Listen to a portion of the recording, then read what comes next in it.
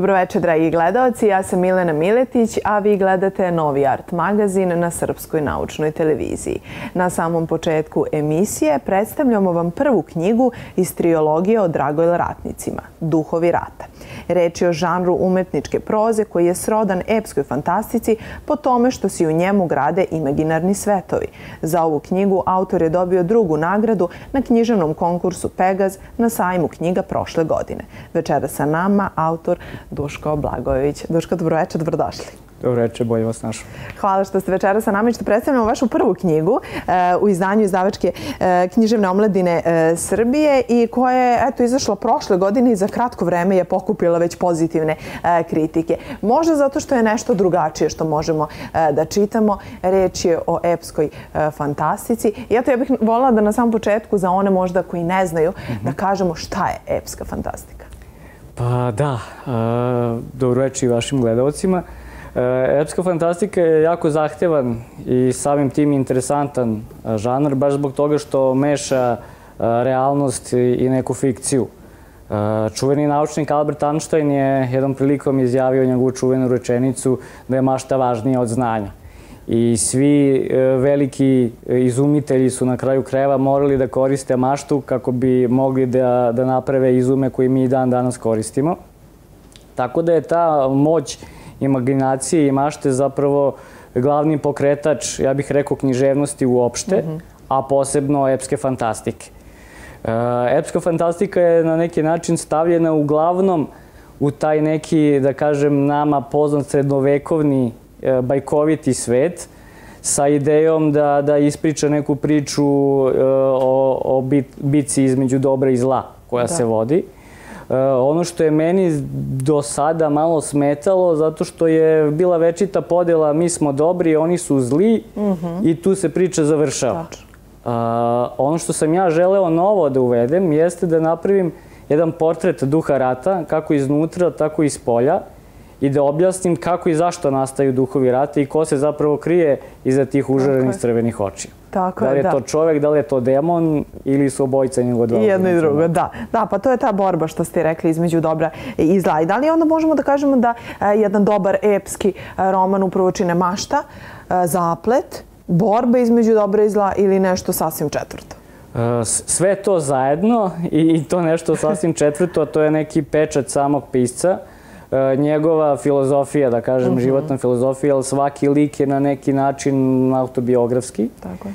E, I e, sam pro, proces pisanja je nerovatan proces samospoznaje. Dobro. I sam, e, sam taj svet koji, koji izrađujemo potiče, potiče od nas i otprilike poruka je budi promena kako želiš da vidiš u svetu. Bravo, tako je. Ja sam se rukovodio ovaj, upravo tom tom filozofijom i pokušao sam da, da objasnim da svi mi imamo ta dva užarena crvena oka u sebi i da ako ne povedemo računa, lako možemo da, da skliznemo i da ispustimo mir koji je izuzetno dragocen i koji, ponavljam još jednom, se ne podrazumeva, kao i sve dobre stvari u životu. Jeste, možemo da prevagnemo na tu drugu e, stranu i to vrlo lako. E, ko su bili Dragojla ratnici? E, Dragul ratnici, u romanu će se naravno ovaj, to pitanje se slaže poput jednog velikog mozaika. E, to je, e, da kažem, jedan drevni red ratnika koji je nastao, izašao u stvari kao savez između Zmajeva, Gargojla. Dragul ratnici jesu i kovanica koja je nastala od prvih nekoliko slova Zmaja i yes. Dragon i Gargoyle po poslednjih nekoliko, ovaj, i to je neki uh, poslednjih slova uh, Gargoyla. To je savez koji su u stvari nastao, ovaj, to je objašnjeno sve u knjizi, posle Rata bogova, i gde su u stvari sve ta divna izmišljenja bića zapravo tu da nas podsete uh, mm -hmm. da je zlo u nama i da ga ne, ne, ne treba tražiti van nas, uh, jer ako se izborimo sa tim zlom i ako pronađemo mir, onda možemo da se nadamo i da će mir prosvetati u svetu. E, I oni su upravo zbog tu, to je ta, da kažem, alijansa koja je nastala ovaj, između Zmajeva, Gargula i ljudi sa idejom da, da, da ne dođe ponovo do nekog novog rata bogova. Jel može da, da se izbegne taj rat?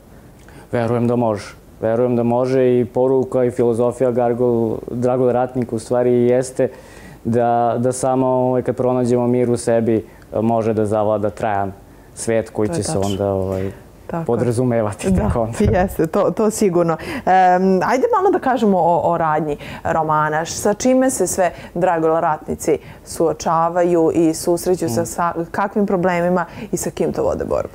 Pa evo, ovaj, na, najbolje bi u stvari mogu da, da, da, da dočaram uh, gledalcima uh, na jedan uh, fin način. Zapravo ja sam sanjao jednom prilikom u, dok sam pisao roman da, da mi se obraćaju likovi iz romana Dobro. i da jednostavno kao da je to neka pozorišna predstava neće više da igraju dok im ja ne objasnim zašto oni moraju da prolaze kroz tolike neprilike ovaj, i to samo ne samo u jednom životu, Dobro. nego u, u ovaj niz svojih prethodnih života koji su živjeli, koji su se takođe borili protiv istih tih duhova rata. I nisu uspeli da pronađu način kako da im se suprotstave, jer su duhovi rata uvek na kraju ovaj, pobeđivali i do rata je došlo. Jel? Tako je.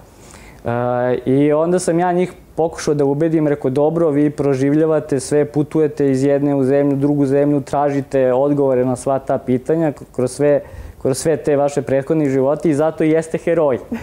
I kad sam im to rekao da su heroji i da su dovoljno jaki e, da, da sve to izdrže, onda su se nekako primirili e, i, i nastavili su, jel da, to su inače e, mahom vladari e, južnih kraljevina, E, ali i obični ljudi koji su koji osjećaju da da se približava ta ratna oluja i koji žele na sve moguće načine da zaštite i sebe i svoje najbliže. O, zanimljivo. Pa to može i da bude, tako da kažemo, i poruka romana. I ono što me zanima, da li epska fantastika može da, da ponudi neku poruku? S obzirom Naravno. da je fikcija, s obzirom da je mašta, Naravno, zaplet. pa epska fantastika je uslovno rečeno e, jedan hodač po žici koji e, hoda u istovremeno i u imaginarnom i u izmišljenom svetu. I ne možemo reći da izmišljeni svet je sa desne strane, stvarni je sa leve, jel, Jest. poput hemisfera naših, Tako. nego je to sve zajedno ovaj, pomešano.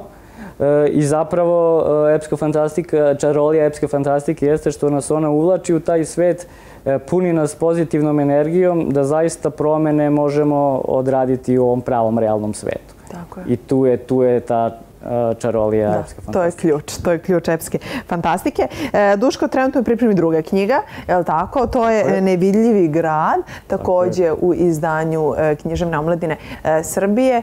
E, isto epska fantastika, Isto je li tako? fantastika. Nastavak. I šta Nastavak. nas očekuješ? Sa čime će se tamo susreti, drago Uh, ratnici? Mislim da je meni lično, ali naravno čitaoci će na kraju reći svoj, svoj sud. Meni lično je druga knjiga daleko, daleko uzbuljivija. Dobro. E, ona se direktno nadovezuje tamo da je prva stala. E, I jako je e, tematika, sad, sad smo, u prvoj knjizi smo bili u stvari više na terenu duhova rata. U drugoj knjizi duhovi rata nisu pobeđeni, e, ali ovog puta malo više pričamo o Dragojl ratnicima, jer je Nevidljivi grad zaista njihova postojbina i ne samo njihova, nego evo za Golice ću malo i maštu čitaoca. E, ja sam u Nevidljivi grad smisli, e, stavio mnogo simbola, između ostalog to je i kolevka čovečanstva. A sad zašto je nevidljiva? Zašto je nevidljiva? E, naravno to pre, pre, prepuštamo čitaocima da, da sami otkriju. Da, uskoro očekujemo i drugu knjigu, Nevidljivi e, grad. Do tada čitamo Duhove rata. Gde možemo da kupimo vašu knjigu? E, Pa može da se kupi u većini e, dobro snabdevenih beogradskih knjižara, znači Plato, ovaj, Vulkan, e, ovaj, onda kod Skrca, knjižara kod Skrca, preko puta Beograđanke, književna zadruga. Delfi? A nije Delfi knjiž- Ima i i Delfi, Delfi književna, za- dobro. zadruga Srbije. ja Tako mislim je. da je. Tako da... Uglavnom možemo da pronađemo, možemo da, tako čitamo je, epsku je. fantastiku duhove e, rata i čekamo e, nastavak Nevidljivi grad. Duško, hvala puno što ste večeras bili sa nama. Hvala, hvala puno i vama i želeo bih samo da pozdravim moju izdavačku kuću Književnu omlinu Srbije, e, sve moje drage koleginici i kolege, što pisce, što pesnike i još vama još jedan put da se zahvalim na Tako ovom gostovanju. Hvala vama i pozdravljamo naravno sve iz književne omladine Srbije. Dugo i lepo e, sarađujemo i e, zaista mi je zadovoljstvo što eto dobijamo tako sjajne pisce e, kao što ste vi i što predstavljamo e, vaše romane ovde. Na kraju, naravno, da ne, ne zaboravimo i našu urednicu Vericu Sekirarski Tako i veliki pozdrav za nju. Tako je. Hvala Duško puno na gostovanju. Hvala vama.